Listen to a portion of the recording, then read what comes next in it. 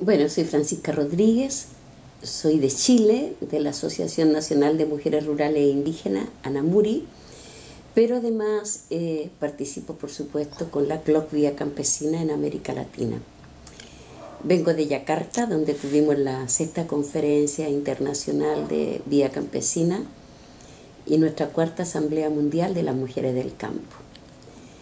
Y, bueno, eh, me encuentro acá por compartir con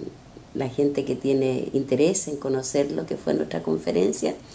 poder compartir algunos de los aspectos que nosotros vimos en esta conferencia,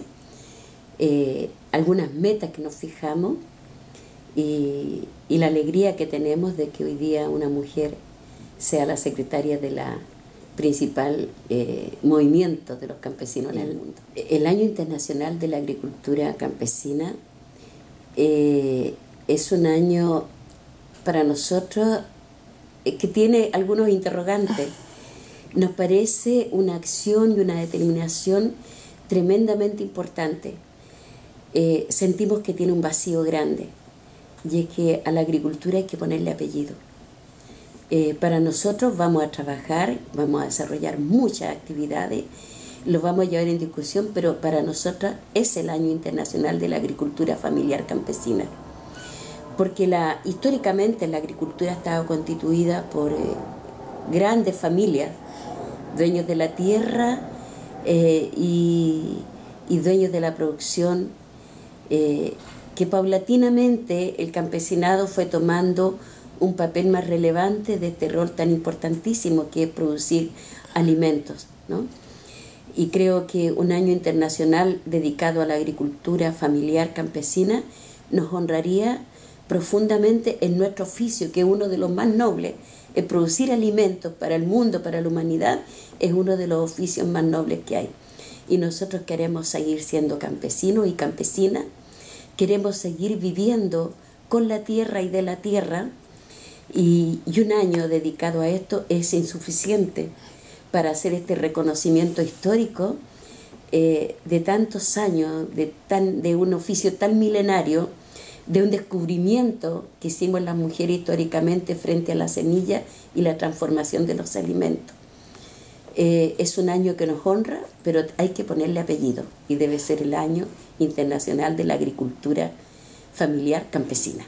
Yo creo que hay una importante colaboración, hay espacio importante que, eh, que hemos ido construyendo al interior de FAO, eh, que nos otorga un reconocimiento en función de un movimiento que tiene un alcance internacional de un movimiento que contempla la diversidad del mundo eh, campesino y del mundo indígena, eh, un movimiento que tiene un amplio reconocimiento al rol de las mujeres en la agricultura. Eh, creo de que se ha visto coronado con esta también construcción, no diría colectiva, sino que avenida entre la vía campesina y la FAO. Eh, estamos trabajando una propuesta nosotros desde nuestra organización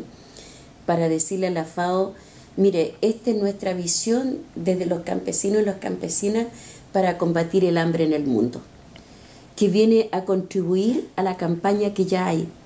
pero que entrega elementos desde lo cotidiano, eh, desde nuestros haceres, desde nuestra cultura, desde nuestra sabiduría, para decir... Eh, poder eh, enfrentar el tema del hambre, la falta de alimento, es mucho más allá que tener solamente la producción campesina, sino que es tener, dijéramos, un advenimiento, es restablecer este puente entre el campo y la ciudad. ¿no? Creo que es lo que fortalece y eso es un poco la FAO.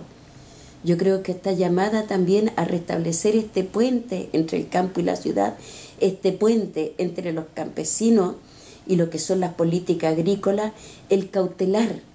de que efectivamente el rol que nos toca asumir a nosotros como campesinos sea cumplido con plenitud y que podamos realmente este año, no que a lo mejor nos va a decir que este año es insuficiente y seguro que va a ser insuficiente, para poder determinar que se requiere más de un año para poder validar lo que ha sido la agricultura campesina, lo que son los procesos eh, alimentarios, las culturas alimentarias de los pueblos y la falta de alimentos que hoy día debiera estar eh, abastecida totalmente de acuerdo a la capacidad que hay de producción en cada uno de nuestros países.